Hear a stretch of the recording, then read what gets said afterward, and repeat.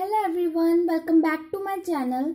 Now we are starting with chapter number 9 Algebra according to the Excellence in Mathematics book. So today we are starting with exercise 9.1 question number 1 which is MCQs. So first part is considering the sequence 6, 11, 16, 21, 26 और आगे blank given है it's nth term is और उसके बाद options हैं सो so, हमने इस sequence को ध्यान में रखना है और इस सीक्वेंस के अकॉर्डिंग पहले तो हम यहाँ पर इसका आंसर फिल करेंगे इस ब्लैंक में। देन हम देखेंगे कि जो एंड टर्म है और यहाँ पर हमें ऑप्शंस गिवन है तो हमने फॉर्मूला बताना है कि इसमें कौन से फॉर्मूला का यूज़ हुआ है। सो so, सबसे पहले हम इनमें डिफरेंस देखते हैं कि इनमें डिफरेंस कितने कितने नंबर्स का है।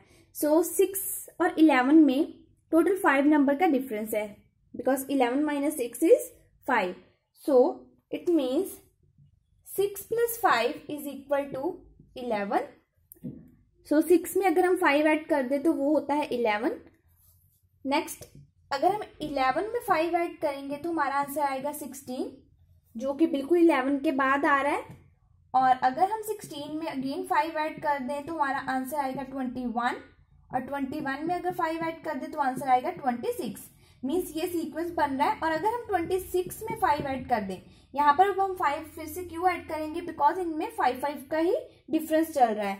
जहाँ फिर आप कह सकते हो कि अगर हम इनमें फाइव ऐड करेंगे तो हमारा आंसर बिल्कुल एग्जैक्ट इस सीक्वेंस के अकॉर्डिंग आ रहा है। मीन सिक्स में अगर हमने फाइव ऐड किया तो इलेवन इलेवन में अगर हमने फाइव ऐड किया तो सिक्सटीन सिक्सटीन में अगर फाइव ऐड किया तो ट्वेंटी वन ट्वेंटी वन में अगर फाइव ऐड किया तो ट्वेंटी सिक्स तो अब ट्वेंटी सिक्स में अगर हम फाइव ऐड करेंगे तो हमारा आंसर आ जाएगा thirty one. So next sequence thirty one twenty six के बाद थर्टी वन नंबर आएगा और इसमें कौन सी टर्म का यूज़ हुआ है? हमें ऑप्शन गिवन है ऑप्शन ए है फाइव एन ऑप्शन बी है five N plus two option C है five N plus one and option D है five N minus one so पहले हम ए ऑप्शन देखते हैं फाइव एन अब यहाँ पर हमें गिवन है फाइव एन इसका मतलब है five multiply by N so N कोई भी इंटीजर ले सकते हैं हम, और फाइव को अगर हम उसके साथ मल्टीप्लाई करें, जैसे फाइव वन ज़ा फाइव सो यहाँ पर तो सिक्स से स्टार्टिंग हुई है इट मीन्स ये वाली जो ऑप्शन है, ये बिल्कुल भी नहीं आएगी.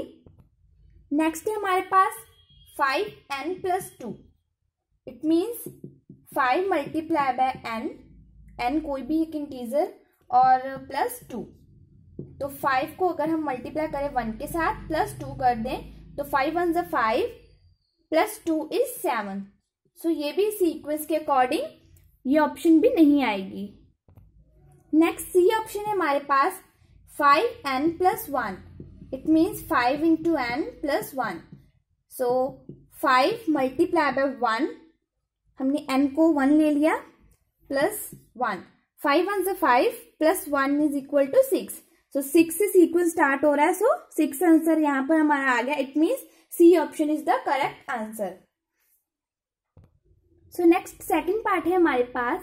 The pattern to form U through matchstick is option A है टू एक्स ऑप्शन बी है एक्स ऑप्शन सी है four X and option D है थ्री एक्स सो हमने बताना है कि यू बनाने के लिए हमें कितनी मैचस्टिक्स चाहिए. मीन्स जो मैचस्टिक्स वाला पैटर्न होता है तो इसमें हमने वो वाला यूज़ करना है.